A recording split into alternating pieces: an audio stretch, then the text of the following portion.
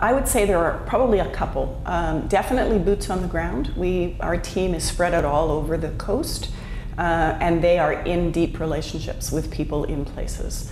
And that makes a huge difference because it allows us to hold a safe space when there are really difficult conversations to be had.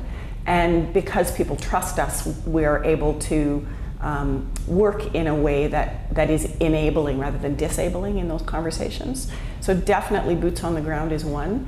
And then the second is we've got a really blended proposition in the organization. So in addition to community development practitioners who just know how to work with people, we also maintain uh, a team of what we call sector experts. So we have forestry people and fisheries people who really understand the industries that we're working with and that allows us to make sure that we get it technically right. Uh, we have business people.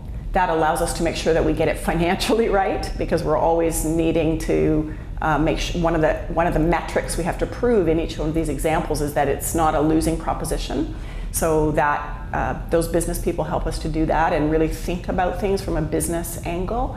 And then finally, we have technology folks, and they're there to help us to um, demonstrate uh, in as many ways as we can how the the impact that we're making is um, it, it is showing itself on the land base.